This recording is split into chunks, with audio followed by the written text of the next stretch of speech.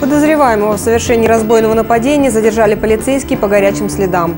В городе Волжском неизвестный под предлогом оказания строительных работ проник в квартиру 79-летней пенсионерки, где под угрозой ножа похитил ювелирные украшения, сотовый телефон и сумку с денежными средствами.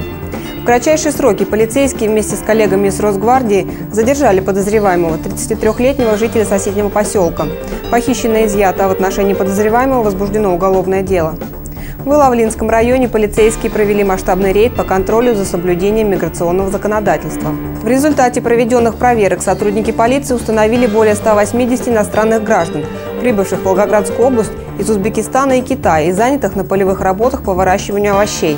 Большинство наемных рабочих проживали непосредственно на сельхозугодиях, во временных сооружениях и землянках. Установлено, что 37 граждан Китая незаконно находились на территории Российской Федерации. Нарушители привлечены к ответственности, им предстоит покинуть пределы государства. В настоящее время проводятся мероприятия по установлению лица, привлекшего иностранных граждан к нелегальной трудовой деятельности. Ему грозит административный штраф в размере до 800 тысяч рублей за каждого иностранного рабочего, привлеченного к трудовой деятельности с нарушением установленного законодательства. Подозреваемый в попытке совершения квартирной кражи задержан в Октябрьском районе. Поздней ночью неизвестный, разбив оконное стекло, пытался проникнуть в домовладение, принадлежащее 55-летней жительнице хутора Ильмень Суворовский. Хозяева домовладения сами задержали злоумышленника и обратились в полицию.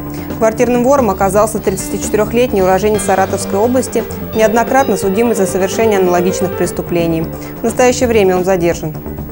Уважаемые волгоградцы, в целях сохранности вашего имущества не забывайте закрывать входные двери и окна. Пользуйтесь надежными системами охранной сигнализации.